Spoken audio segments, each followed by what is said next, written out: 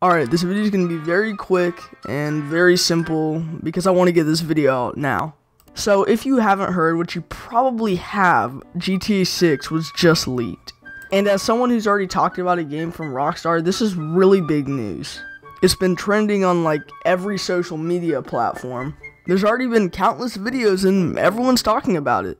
If you didn't know, someone hacked into the Rockstar system and got the source code and some footage of the game. To be exact, there are about 90 files of gameplay, footage, or images to be shared. They'll be playing on screen right now.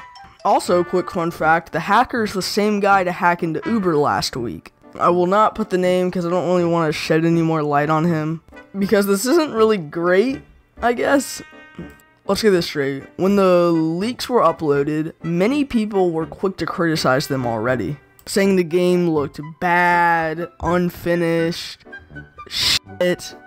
And you know what? Here's the answer to that. Because it is unfinished. It's literally like a preview. It's not rendered. They're still working on it. And people are already criticizing it.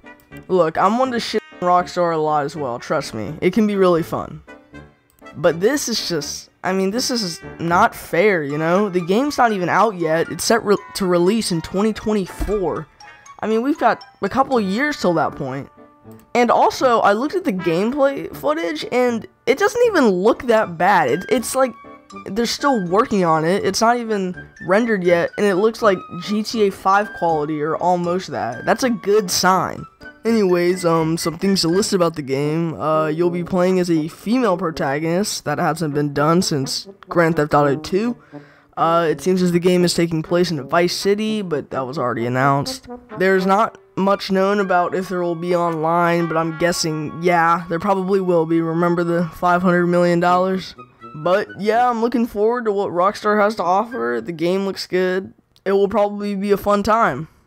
And hey, the people working on the game won't be abused this time. Great!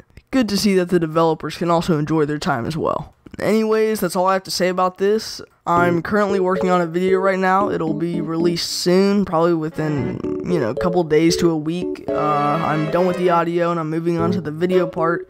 Um, I think it'll be a good watch and I'm really enjoying making it. Sorry this video was so lazy and quick, but I just wanted to get my thoughts out without waiting a month.